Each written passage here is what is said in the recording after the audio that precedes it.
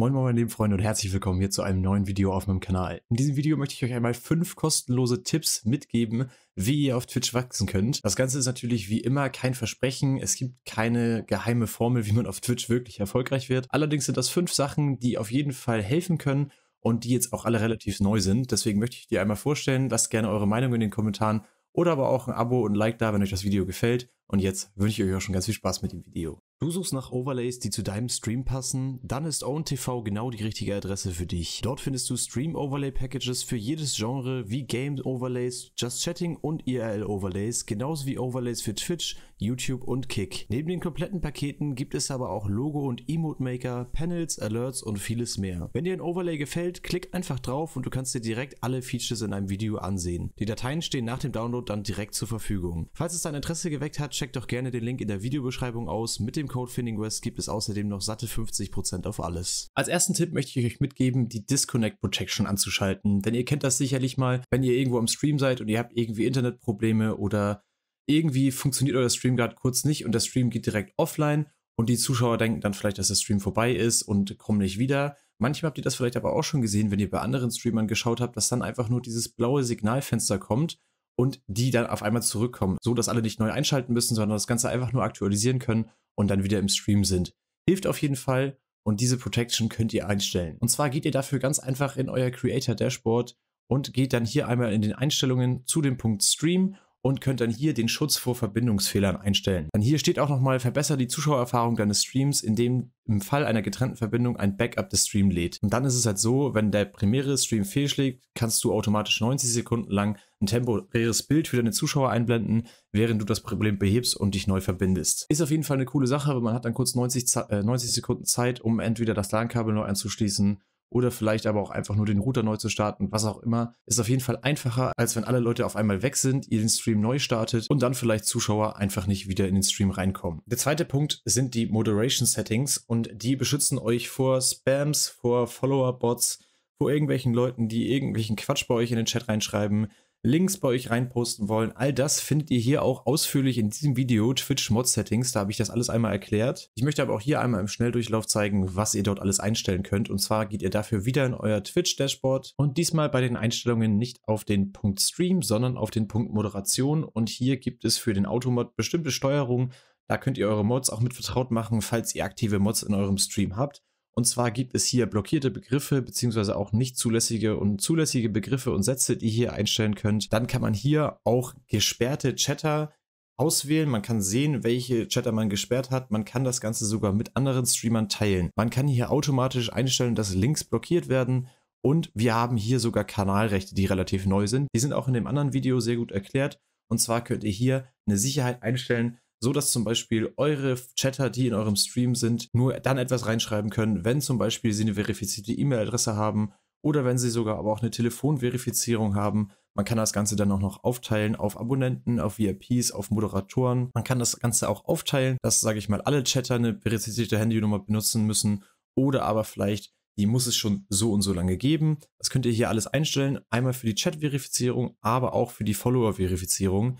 Genauso wie könnt ihr hier auch noch Chatregeln hinzufügen, die dann ganz kanalspezifisch für euch angegeben werden. Man kann dann hier sogar noch die Anfragen zur Aufhebung einer Sperre verwalten oder aber auch hier zum Beispiel ganz neu, dass gesperrte Nutzer den Stream anschauen können. Damals war es nämlich so, dass die Leute, die gesperrt worden sind, immer noch zugucken konnten, aber den Chat dann halt nicht mehr bedienen konnten, also nichts mehr schreiben konnten. Jetzt ist es wirklich so, dass die Leute, die gesperrt sind, auch nicht mal mehr euren Stream gucken können, wenn ihr das Ganze hier einstellt. All das findet ihr hier unter dem Tab Moderation. Falls ihr dazu genaueres wissen wollt, schaut euch gerne das Video von mir dazu an. Es ist auf jeden Fall einiges dazu neu gekommen und es ist natürlich umso besser, wenn der Chat und auch allgemein euer Stream ein bisschen sicherer gemacht ist, damit man halt damit keine Unannehmlichkeiten hat und sich dann wieder auf Stream bzw. auf das Entertainen konzentrieren kann. Der nächste Punkt, den hat man wahrscheinlich schon ganz oft gehört. Ich möchte aber im Spezielleren darauf eingehen und zwar ist es ja nie verkehrt, irgendwie Clips aus den Streams in seinen Socials zu teilen, um mehr Reichweite zu gewinnen. Das Ganze geht jetzt aber auch noch viel einfacher und zwar direkt über Twitch. Auch dazu geht ihr ganz einfach wieder in eure Creator Dashboard und geht dann hier auf Inhalt und auf Clips. Und ihr habt es sicherlich schon gesehen, dass man mittlerweile bei Twitch selbst auch Stories hochladen kann. Man kann aber auch hier das Ganze einfach, wenn hier ein Clip ausgewählt ist, das Ganze hier bearbeiten. Man kann das dann hier auch einfach zurechtschneiden. Man kann dann auch hier das Hochformat auswählen, kann sogar hier dann das Layout bearbeiten. Und wenn das Ganze dann fertig ist, kann man das Ganze teilen. Und zwar einmal natürlich in der Twitch Story, aber ihr seht hier auch schon direkt, dass das Ganze auf YouTube, auf TikTok, auf Twitter, auf Facebook, auf Reddit überall direkt geteilt werden kann. Das Ganze ist super schnell gemacht, wenn ihr das Ganze natürlich sonst immer noch irgendwie über CatCut oder über andere Schnittprogramme noch mit Untertiteln versehen wollt und so weiter, könnt ihr das natürlich auch machen. Es ist immer gut, irgendwie Social zu teilen. Ich wollte nur darauf hinweisen, dass es mittlerweile hier über diese Clips-Funktion einmal ganz einfach ist, einmal Twitch-Stories hochzuladen, was sicherlich auch einen Vorteil hat. Und diese Clips hier wirklich in zwei, drei Minuten einfach schnell zusammenschneiden kann und direkt auf verschiedene Socials zu teilen. Und damit kommen wir auch direkt zum nächsten Punkt. Es gibt nämlich mittlerweile die Funktion bei Twitch zuzulassen, dass andere Leute eure Clips teilen dürfen. Das denken natürlich erstmal viele, äh, ja, will ich gar nicht. Gab es ja damals auch schon eine Riesendiskussion bei den Sata Hugo Videos, warum es so viele Leute gibt, die mit anderer Clips irgendwie Geld verdienen oder Wachstum erreichen. Ich glaube aber, dass es als kleiner Streamer gerade relativ gut ist, wenn ihr erlaubt, dass andere Leute eure Clips teilen, weil wenn irgendwo mal sowas auf TikTok oder so viral geht, was ja schnell passieren kann, dann führt das natürlich auch ganz schnell zurück zu euch. Und die Leute wollen dann vielleicht sehen, was der sonst so irgendwie in dem Stream macht. Und diese Einstellung findet ihr mittlerweile auch unter den Einstellungen und unter dem Punkt Stream. Und zwar, wenn ihr dann hier einmal runterscrollt, dann findet ihr hier unter Clip-Einstellungen, lasst Zuschauer Clips in Social Media hochladen.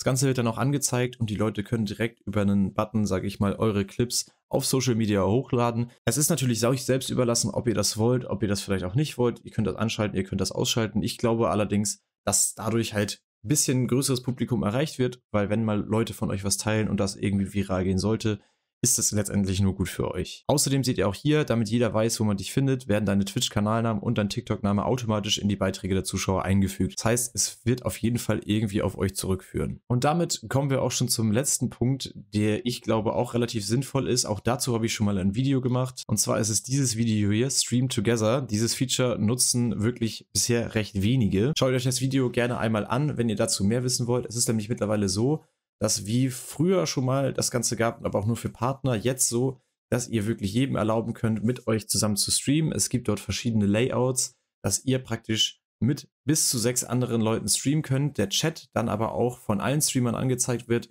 mit allerdings dem Button, dass man weiß, wer zu wem gehört und alle Streamer bei jedem Streamer zu sehen sind. Hört sich jetzt erstmal kompliziert an, ist aber eigentlich relativ einfach. Es geht einfach darum, mit anderen Streamern irgendwie eine, eine Collab zu starten und dann vielleicht auch ein, zwei Streams zusammenzusetzen weil auch so kann man natürlich irgendwie Wachstum generieren. Wenn man jetzt mit anderen Leuten streamt, dann kommen die Zuschauer von denen halt zu euch und andersrum genauso. Ihr bekommt dann letztendlich hier einfach so ein Layout, wo ihr jetzt verschiedene Leute einladen könnt. Es werden alle Leute auf allen Bildschirmen gezeigt, also es werden dann die ganzen Leute mit deren Kameras in eurem Stream angezeigt. Der ganze Chat wird angezeigt und wenn ihr dann irgendwie was zusammen zockt, kann man sicherlich da irgendwie eine gute Zusammenarbeit starten und sicherlich auch ein bisschen Wachstum generieren, auch je nachdem, mit welchen Leuten ihr zockt die vielleicht auch mehr Zuschauer haben oder aber auch andere Zuschauer, dass man da vielleicht irgendwie eine Schnittmenge findet und sich da ein paar Leute connecten. Ist auf jeden Fall wahnsinnig praktisch, glaube ich. Das Feature nutzen bisher wirklich sehr, sehr wenige. Ihr müsst mal darauf achten, wenn ihr bei euren Streamern guckt. ist links so ein grüner Kreis. Da kann man dann draufklicken und auch eine Zusammenarbeit anfragen. Guckt euch das Video an, wenn euch das Thema wirklich mehr interessiert, weil das alles jetzt hier noch zu erklären, würde ein bisschen lange dauern. Ansonsten war es auch mit den fünf Tipps, die ich hier neu zusammengetragen habe. Es gelten natürlich die altbekannten Tipps, dass das Ganze Spaß machen soll, dass es nicht nur um Wachstum und um Geld geht, sondern um die Sache an sich, dass man irgendwie Bock auf Stream hat. Aber ich glaube, das wurde auch schon alles oft genug gesagt. Und das sind jetzt so die fünf Sachen, die ich relativ neu zusammengetragen habe, die ich neu gefunden habe. Ich hoffe, sie haben euch gefallen oder euch auch jetzt schon weitergeholfen oder nachdem ihr das Video gesehen habt. Ihr könnt gerne eure Erfahrungen danach mal in die Kommentare schreiben. Ansonsten war es das auch schon und sage ich danke und bis zum nächsten Video.